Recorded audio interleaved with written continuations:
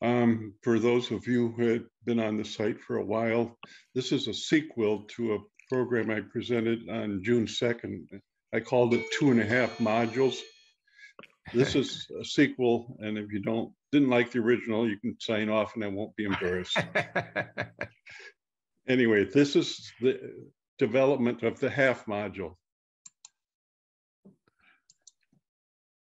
Are you ready, uh, Rod? Okay, Yeah. you're, you're, okay, there you go. Yeah, he's got it. Is, did you guys get share screen? Yeah, we can see it perfectly. Okay. This is the half module that was as presented in June. Um, it was in a very raw state. It had the track, it had the buildings, and it had a sand base on it. And there were, I called it the Y um, with seven crossings. The seven crossings are not crossings of track, but crossings of streams in the area.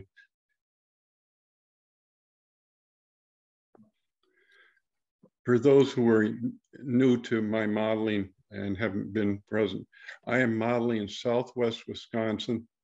You can see the Wisconsin-Illinois border in the lower right. You can see where Madison is.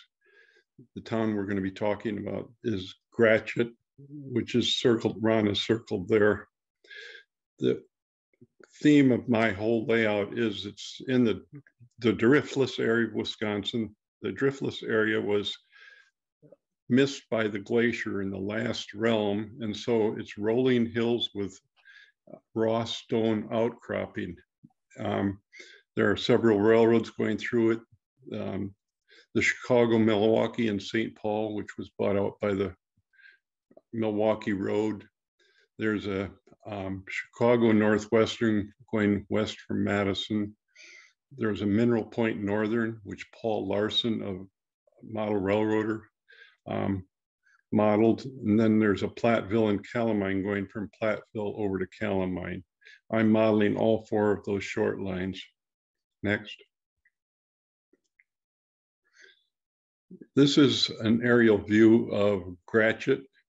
The depot was down in the valley and it was a crossing of the um, Chicago, Milwaukee, and St. Paul. The town of Gratiot was up on a hillside above. In the where the X is in the dotted lines, you can see the shadow of the um, Y that is still present in the landscape. Next. The module or the display module I made for this one is actually a piece, a piece of my uh, layout. The, the piece is in the island portion, and that's the Chicago, Milwaukee, and St. Paul. And the Chicago Northwestern is goes around the perimeter. And then Mineral Point Northern goes from the island, crosses the aisle, and goes connects into the Chicago Northwestern. And so there's an odd shape to this display, so that explains. Okay, next. The luckily the Gratiot Depot still exists. Um, these photos were taken about 10 years ago. Um, it's been partially restored and kept in place. I added these photos to my display because um, part of the judging on this is conformity. And so if you have pictures of so something that your model relates to, it really enhances their consideration of your um, display. Next.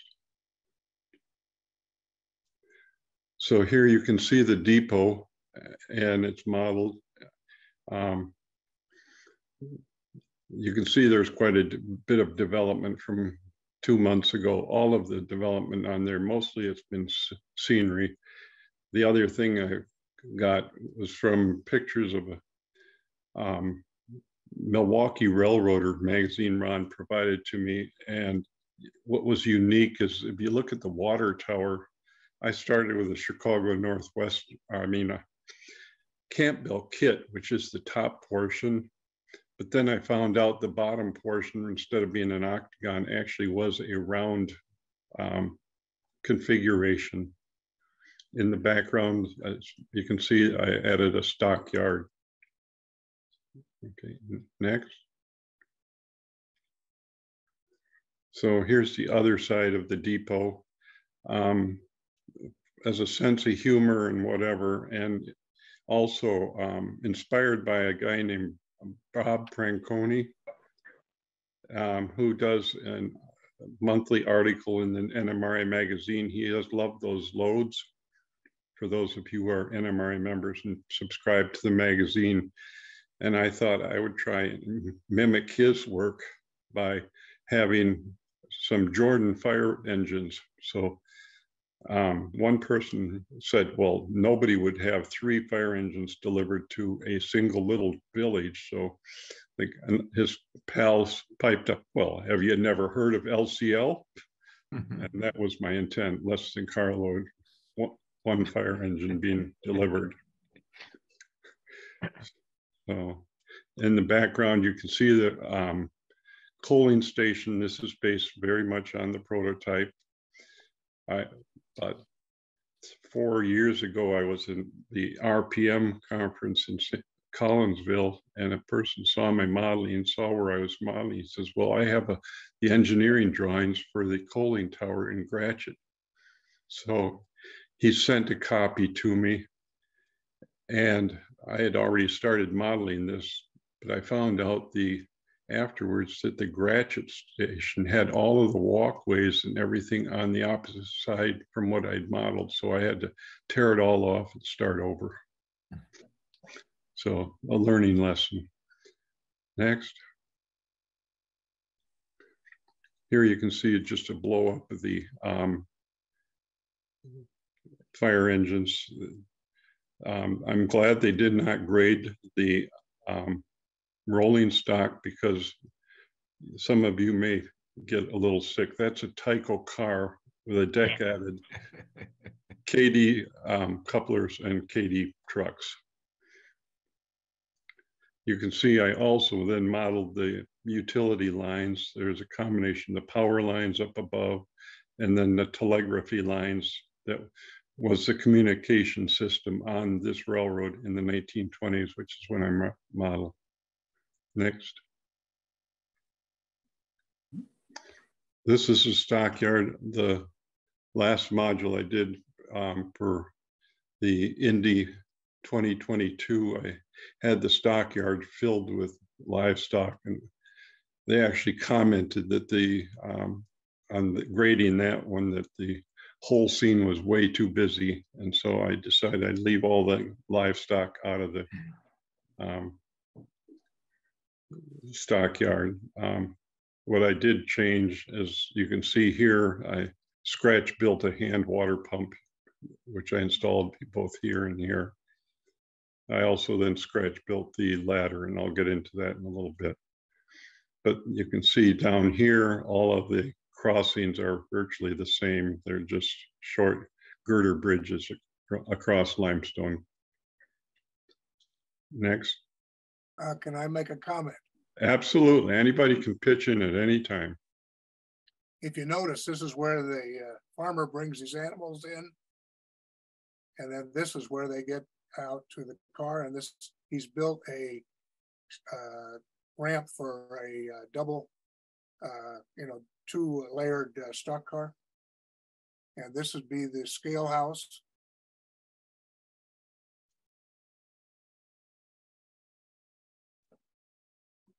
Okay, this is another view. Um, the focal point on this is the windmill. I'll talk about a little bit more. I've scratch built about six windmills now. Um, and I'll get into the detail on that. This one is a metal frame windmill. Next. Believe it or not, what was more popular than the um, display module was this little board that I constructed and put adjacent to the model. Because one of the sections in the grading is detail and describe difficulty. So how do you describe difficulty? So I decided to expand on that. At the Indy competition and presentation, I had provided a written description of everything, and I was watching people looking at the display, and not a single person picked up the written description to look at it. So I decided I have to do something to get their interest. So I made this, which is a visual. And it explains what was tough for me. And the windmill fans, just to give you an idea what scratch building's like, the outer ring is a 132nd inch square bent rod that I wrapped around a um, dowel, soldered it all, ground it down. The inner ring is a half inch diameter copper water pipe that I cut off and then ground that down to 32nd inch thick. The intersection that within that half inch core is all styrene strips and tube. The fan blades are made out of styrene cut to shape. And the main challenge was placement and anchorage of the fan blades with even spacing and blade pitch and getting it all to glue and hold. The way I did the spacing is I actually used a wire from the inner ring to the outer ring that was seven inches long. And so it expanded way out and I could control the exact spacing. And then I trimmed it off later. My next challenge was the windmill vanes and I'm still learning how to solder. I went to a soldering clinic at the National last week and it was unfortunately all about, um, for me, soldering electrical wires. Um, in my building in the coaling tower, I had, when I first did it, I glued the um, phosphor bronze rails to the um, brass posts. Those are th also 32nd inch square posts. And I wasn't happy with them. So I bought the Proxxon drill and drill press, and I've learned how to drill 164th inch diameter holes through a 32nd inch square brass rod. It's very difficult to get that level of precision. The three things in the middle are the traces for the um, surreys. And then again, that is also soldered. Um, you can see samples I've made scratch built all of the surreys drays and buckboards. And they're a combination of styrene and phosphor bronze wire. The wheels are, I've made 24 of the two person surreys, just a couple of the four person surreys and a dozen buckboards. So I'm, one person told me I was nuts. So, anyway, next.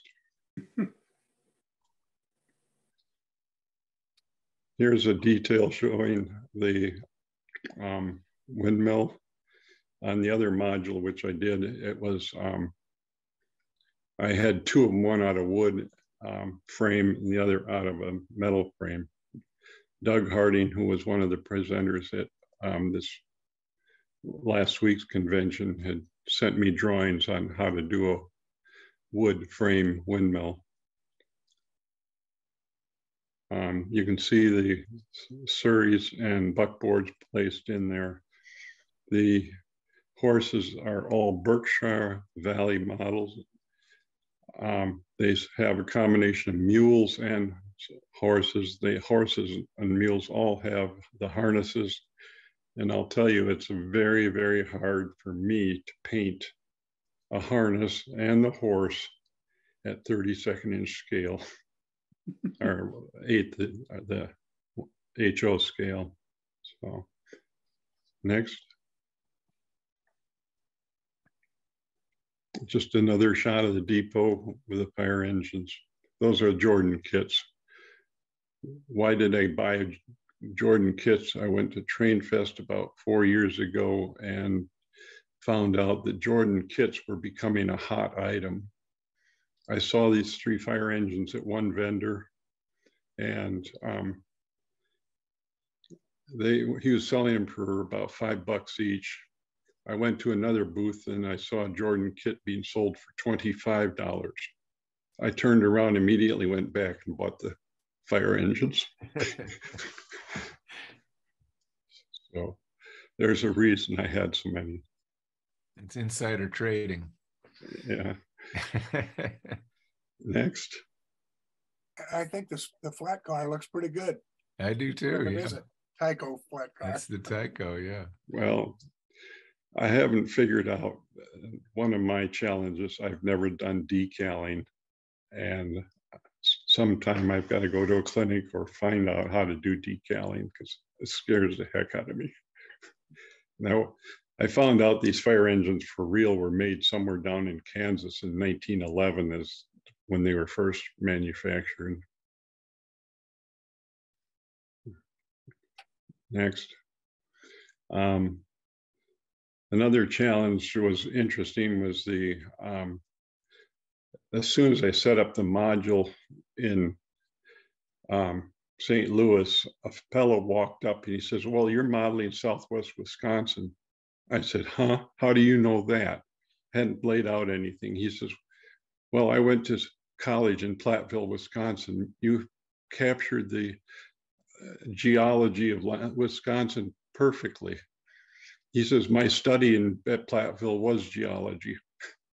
Hmm. So I was, Quite- an I was really pleased with something like that. Yeah.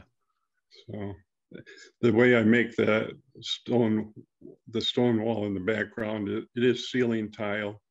Obviously, it's been carved to some degree and broken and smashed, and then I paint it with um, tan paint, and then I also then sprayed it with hairspray and took limestone dust. I crushed limestone to down to the dust, and I applied it.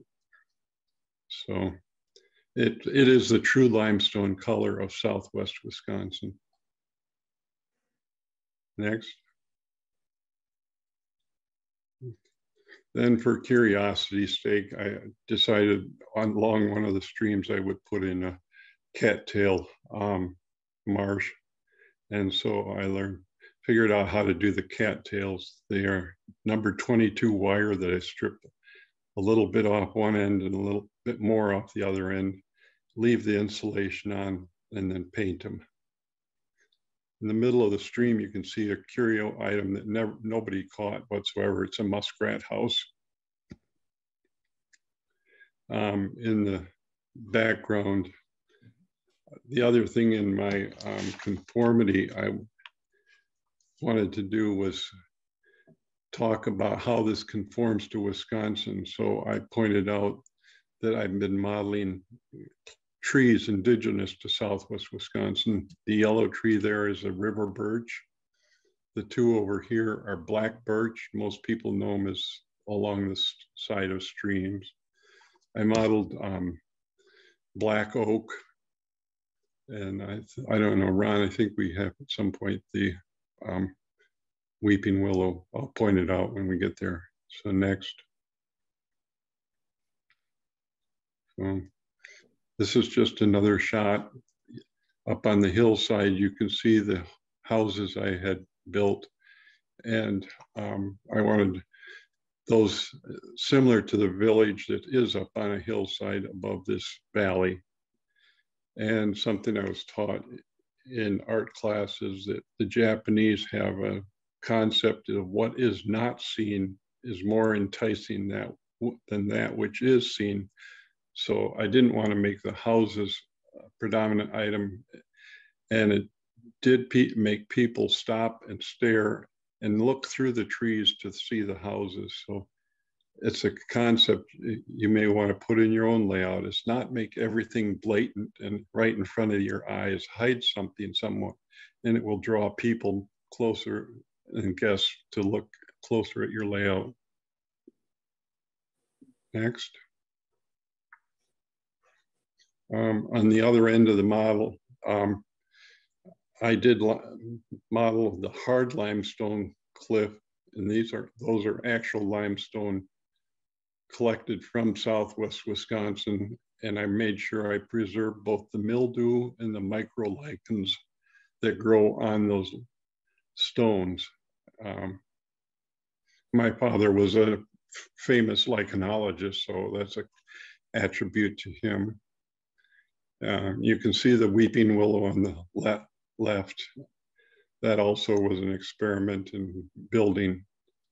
It's a the tree is built with a wood dowel, wire armatures, um, caulk added to smooth out the edges, and all of the fronds are made by taking five pound braided fly fishing line, dragging it through a pool of ACC, and then dragging it through a pile of um, woodland scenics, their ground foam are their ground foam, and then I grind it down to a very fine texture.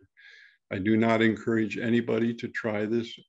It's hundreds of fronds, and each one has to be dried and preserved independently.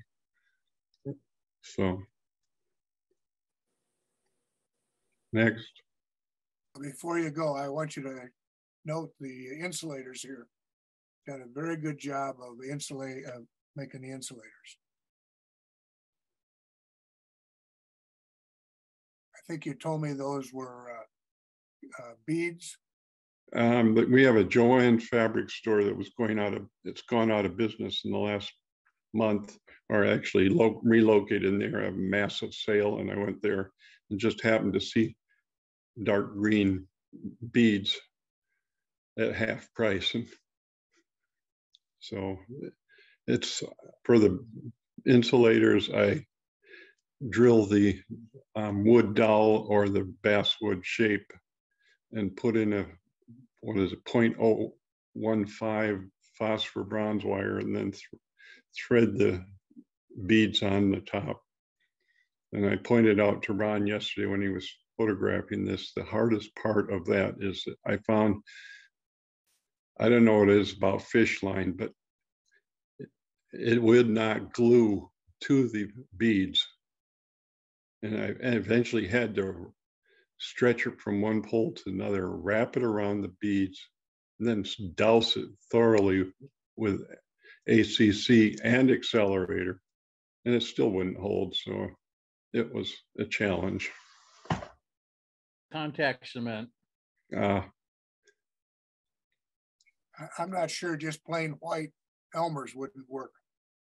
yeah. It just, this is my favorite scene because you look underneath the weeping willow and you can see the coaling tower and the whole depot in the background. And then on the left, you can see my experimentation in making white pine trees. And that's a combination of using a wood dowel, number 14 electrical wires unwrapped, the stranded wire unwrapped and spread, and then use flocking with hair spray it with hairspray and flocking. Next. Um, just another scene. The actual ground is af from the original model or module. I in the sand. I did apply two coats of um, static grass. I did a gray brown at the bottom to represent the dead material. And then I added another layer, which was about three or four, um, what do you call it, millimeter static grass in a light green. And then I spent hours upon hours um, using woodland scenics field grass. It comes in three or two and a half to three inch length. I cut it down to one eighth inch lengths, mix it all together, and then apply it clump after clump after clump. But it makes for a prairie scene, which was what Southwest Wisconsin was. And I'm modeling in September, so it's um, modeling a species of grass called little blue stem, which turns yellow, and then in October it turns a reddish brown. Um, next. This just gives an overall tone of the color. Next. So that gives an overall. Um, I'll then give you an overall. Um, there were three display modules um, in this competition or the contest. I did get the first prize for People's Choice and for the Judge's Choice. Um, on this one, they gave me a score of hundred and four. Um, under the basic construction, there's possible forty points. They gave me thirty-seven. For detail, th- there's maximum of twenty points. They gave me ten. Ron and I don't understand why this whole thing is detailed to the nth degree, but that's the judge's option. And for conformity, where I really worked hard to explain how I was modeling Southwest Wisconsin, maximum is twenty-five points. They gave me to twenty-five. For finish and lettering, the maximum twenty-five points, they gave me twenty-three points. For scratch built, there's a maximum of fifteen points. They gave me nine. This thing is ninety-nine percent scratch built, so something they saw they didn't agree with. So again, that's the judge's option and I'm quite satisfied with the score as it was. So, and next. That's just another view of the overall, so. Ron, you did quite a job of photoshopping this, I there's one more. There you go. okay. Okay, any questions? The lighting is awesome. Did you take these outside? Um, yes, we went outside and I set up horses in my office parking lot and Ron spent a half an hour, or forty-five minutes photographing all of this. That's great. How did you transport it? Um, I have a Ford Edge. And first of all, the piece on the far left, you see the handle, uh, the upper handle? Mhm. That's re, that piece is removable. It weighs about ten or fifteen pounds because it's the um, true limestone blocks wedged into the styrofoam. Then the piece back here is also removable and taken off.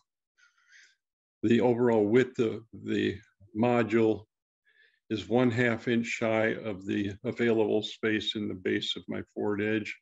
And I had to move the seats about a two inches forward to have it fr- front to back. So it- it does fit within my car. Nice. And the handles have been put on for ease of transport and safety, because showing up at one of these, I have to uh, request support in terms of moving the display into the thing, because I would guess this weighs, I don't know, Ron, would you guess 40 to 50 pounds? I thought about a thousand. I don't know. I think, I suspect about forty-five pounds. So is it two inch foam? It's two inch foam, um, only on the built up portions. The rest of it is pretty much flat. Um, and then I carved out for the stream valleys Okay. And it's half inch plywood on a one by four frame.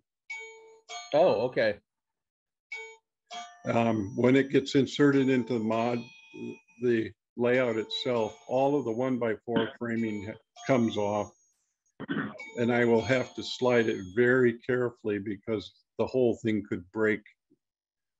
The, part of the reason also for having this two ends, um, removable is it's gonna be shoehorned into that, uh, space on the layout. And it'll be easier to drop them in vertically after the main piece.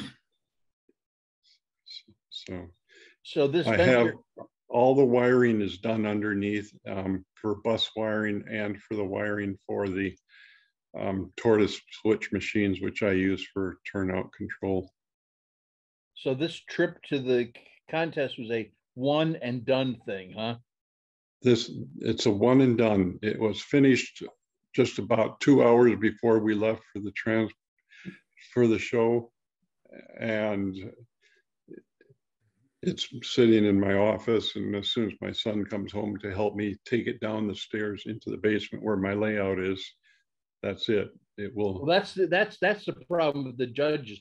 They knew you worked on it two hours before you left. They and they probably didn't did. The like it. glue was probably still wet. Yeah, that's it. So, but I'm very Ron- pleased with the result. Ron? Ron? Yeah. Am I, am I on? Yeah, we can hear you. Can you hear me? Yes, we hear can. you, Lloyd. Oh, good, good, good. I, I was muted. In nineteen fifty-four, I drove through Gratiot on my way to Beloit to take my first job at Fairbanks Morse out of college.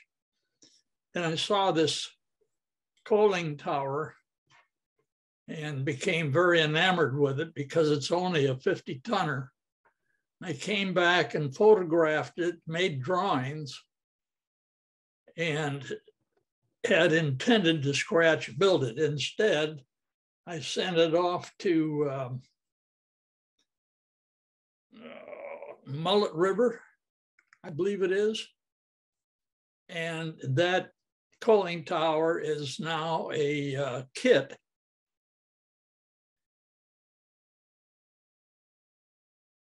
Lloyd, I guess I could have saved myself a lot of time and energy. No, no, well, that.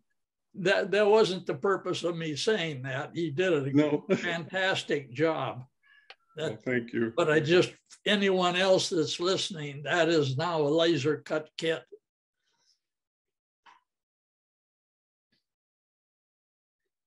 Beautiful. Well, The drawing I had was for the, the, for the Chicago, Milwaukee and St. Paul coal, fifty ton coaling tower. Said it was for Montana. Well, there's almost uh, an exact dupe, was an exact duplicate in Wausau. Oh, okay. For those who don't know, Wausau is about what, hundred miles north of Madison? something like that.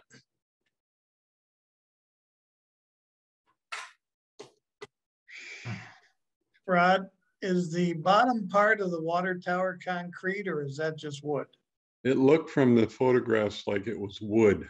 Okay, It it looked like it was a board and batten kind of thing, but I, I'll have to admit, I just guessed based on the photograph as to the spacing. I wanted to mimic as close as I could to the photograph. I'll slip back. You guessed correctly. there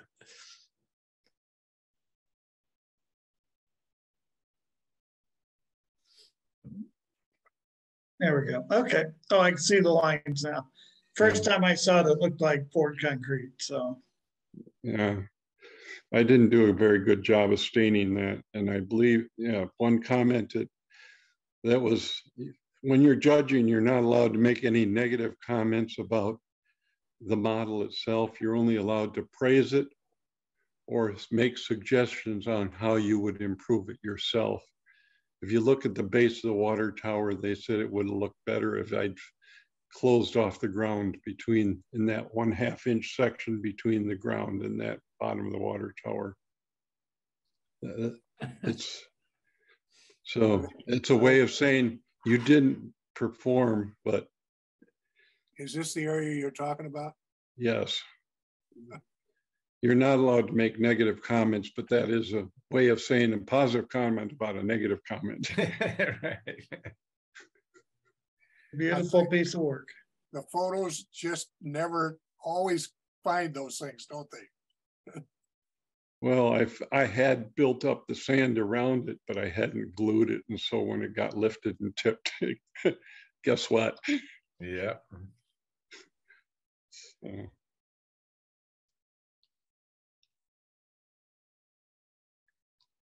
Anything else? Beautiful work. Yeah, it's just. Well, thank you. Model. Yeah, I've got, I've got one observation, and this is an amazing piece of work, but I always see something in pictures. And if you were to look at the picture that featured the three pieces of uh, limestone, if you look at the um, growth, the lichen or whatever it is on the lower stone, if you kind of sit back, mm, not, not that one. Let's see. I think it's, on the- there you go. Take a look at the lower, whoop, you were, you were, you passed it. Go back.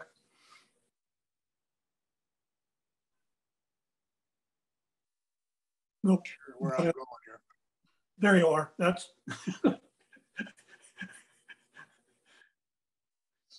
Well, let me just give you my observation. You can look at it later. There would appear in the lichen to be the image of a coyote. or a shepherd. And that's okay. I mean, you know, a little bit of humor that's very subtle. Those are the things that a lot of people enjoy if they see them. Well, if it's there, well, I'll have to confess it's not by intent. Well, I know that. No, I mean, if it was natural, as you, I think I understood you say that you preserved it. Uh, that, that makes it even better as, as an observation. Yeah, Now that you mention it, I see it. where? The lower stone, right It's in the running to the left. Go to the right, go to picture right down. No, no, no. Oh, there's another image there too, but I'm sorry, I can't do the, Is it this stone? now go right. No. You're going too high. I want to go over down one. There you are. Right there. There it is. Yep, you got it. I see it. Is that the ears? I got you. Yeah, he's, he's, he's uh, heading west, I guess. or- He's running left. Right. I see it. That might just be in the angle of that photograph, and you might never see it again when you see the real thing. It could be the lighting. You- Yeah, I, but you can see it in the, in the picture and that's, that's what I like. Serendip-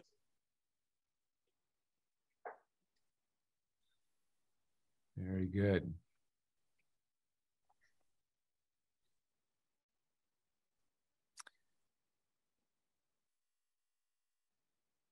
Well, Lloyd, uh, well, Rod, congratulations on your awards and a beautiful model. And Thank thanks you. for the, thanks uh, to both you and Ron for preparing the presentation this evening. That was wonderful. Uh, next week, I think, uh, I think Lloyd, you're going to be ready to present on the, um, on the steam cars. Yes, And so uh, we'll look forward to that. And then perhaps Rod, you're going to present on judging, maybe the week after that. Sounds fine. I'll try and prepare. Okay, wonderful. Right, Uh, it'll be dependent upon a bit, able to preserve that. Um, Bob, do you know if it's possible to save, somebody did photograph every one of the contested models Hmm. and it's been published. Greg or Bob, do you know how to preserve that so I could comment? Um, I know for Indy Junction, Jim Osborne took all the pictures, and um, we can track that down. Um, for St. Louis, I'm not sure. There should have been somebody taking all the pictures, but It was- um, Published two days ago on the web. Somebody sent it out. Yeah. I And think I see I saw, can- I saw a link for that. it. yeah, well, they didn't copy me. Uh, Ron, I think you might have sent that out, didn't you? I did. Yes, Ron. Yeah, so Let I- me see if I I'll be able to find it go Just to see that. if this works. Okay, Yeah. I we'll have no to that. computer capability to know how to download something that's an attachment like that. Yeah, I can help you there for sure. Bob, since you were present, I would also uh, ask that if you're going to be there on this in two weeks, you add commentary to what you saw in terms of the contest and Actually, I can't. you can't? I was you- I didn't get there till uh, late on Wednesday, and I spent all Thursday in um, NMRA bureaucracy meetings. Oh, Uh, I I'm an election judge in Wisconsin, and we had a primary the Tuesday of the middle of the thing. So I uh, I was up till you know pretty late counting judges, or we counting votes and closing polling places, and then got up Wednesday morning, and I think I know where I fifty five is, and got in the car and headed south. Well, I Um, guess so- I'd rather, I'd rather judge a, um, railroad thing than judge a, an election. Primary, Yeah, yeah. well, it's a form of community service. It it uh, up here in Wisconsin, it's you know you're working with your neighbors and friends and stuff because it's all locally run. So it's uh, fairly satisfying. I've been doing it for about 25 years, but it there is a couple days of the year where you are committed. You've got to be there. Yeah. Well, thank you for serving us. that's right. Rod, is this what you're talking about that you want me to put up? We can't see it. Oh, you can't see it, Rod? I can't see anything. I'm seeing Gratiot, Wisconsin. Your title slide. I thought I got rid of that. Mm-hmm. Well, I'm seeing something that none of you are.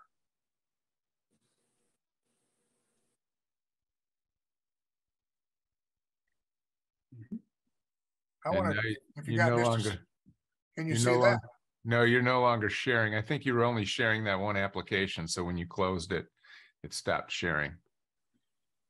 So if you try to share it again, you ought to be able to do it.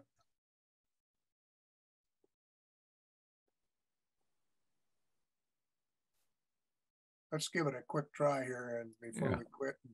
Yep.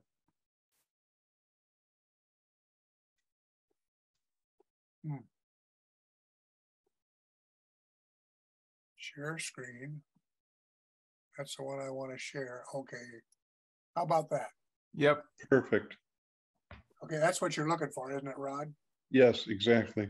Good. Then we can do it. If it's still there, we can do it.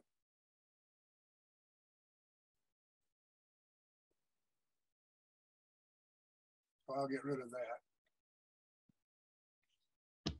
that. Hey Rod, have you ever heard of a book uh, called Railroads of Southern and Southwestern Wisconsin by Daniel J. Lanz?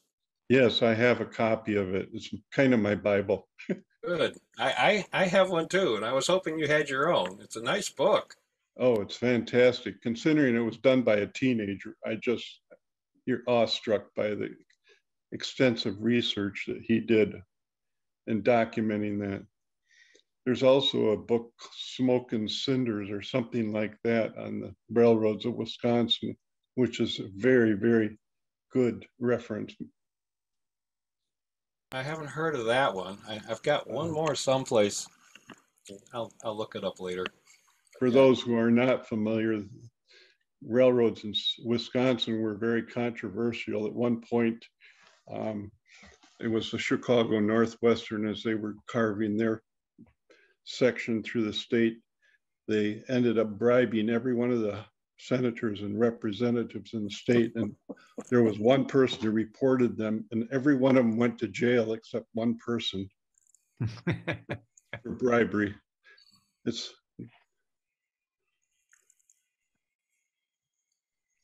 Sounds, sounds like things haven't changed much. I don't know about Wisconsin, but. Yeah. Sounds like an article for Northwestern Lines. Yeah, definitely. Mm. All right. Well, thanks, Rod. Thanks, Ron. Great job tonight. And uh, congratulations again on your awards. Very Thanks, good. everybody, for attending. Like I said, Lloyd will be on next week, and I've actually seen that presentation and helped uh, helped a little bit put it together, and uh, it'll be a really good one. So you don't want to miss next week. And uh, that'll be Tuesday at six thirty Central, seven thirty Eastern, just like tonight. So we'll hope to see you there.